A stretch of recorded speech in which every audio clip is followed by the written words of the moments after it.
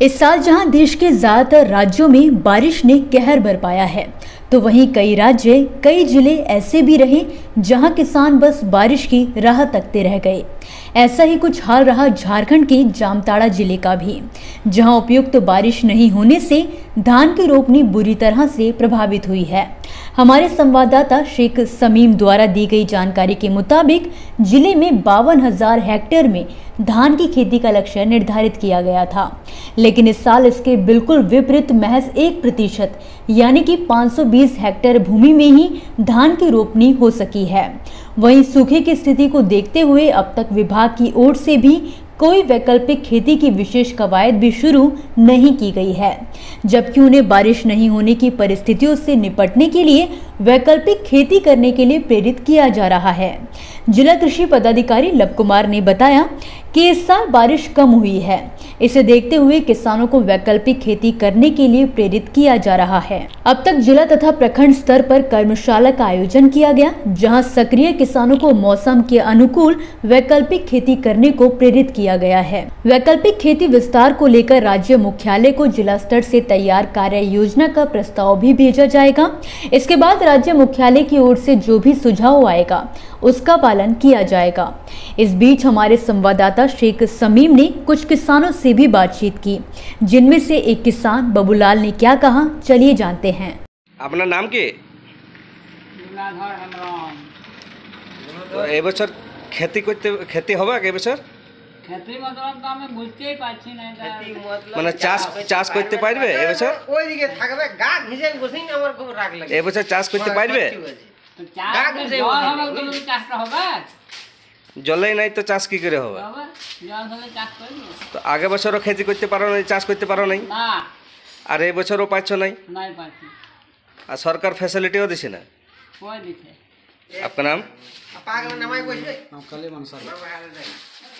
खेती किए हैं सर शुरू किए हैं। सर नहीं तो कहाँ पानी ही नहीं तो कहाँ खेती अगले साल? अगले साल भी ऐसे ही हुआ था कहाँ पानी हुआ था? अरे इस साल भी खेती नहीं कर पाए।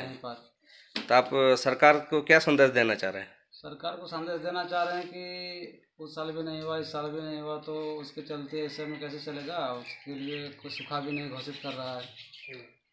अभी तक सुखाट घोषित नहीं किया है? नहीं किया है। अभी तक कर देना चाहिए था हाँ वहीं जामताड़ा के किसान भुवनेश्वर हंसदा ने कहा कि बादल तो दिख रहे हैं लेकिन बारिश नहीं हो रही তো কি এবছর চাষ করতে পেরেছ চাষ হয় নাই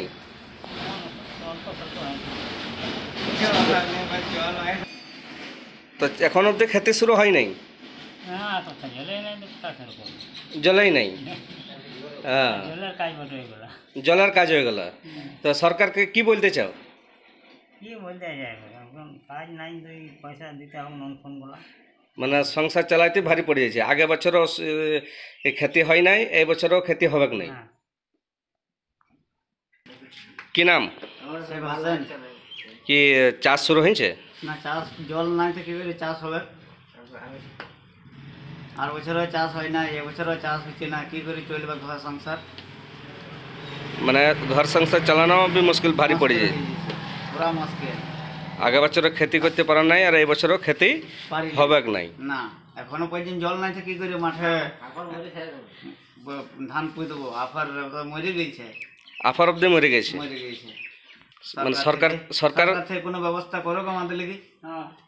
মানে সরকারকে ধ্যান দেওয়ার দরকার আছে হুম। যে এখানে যা কিষান আছে কিষানের কি করে ভরণ পোষণ হয় সেরকম পজিশন আবার কি दरअसल मानसून आने के बाद भी बारिश की रफ्तार नहीं बढ़ी है जिसका असर खेती पर साफ देखने को मिला मानसून देर से आने व बारिश की धीमी रफ्तार के कारण धान रोपनी प्रभावित हो रही है धान रोपनी का लक्ष्य बावन हजार हेक्टेयर रखा गया था इसके विपरीत अभी तक महज एक प्रतिशत यानी कि 520 हेक्टेयर में ही रोपनी हो पाई है। ब्यूरो रिपोर्ट, शेख समीम जामताड़ा, ग्रामीण न्यूज़।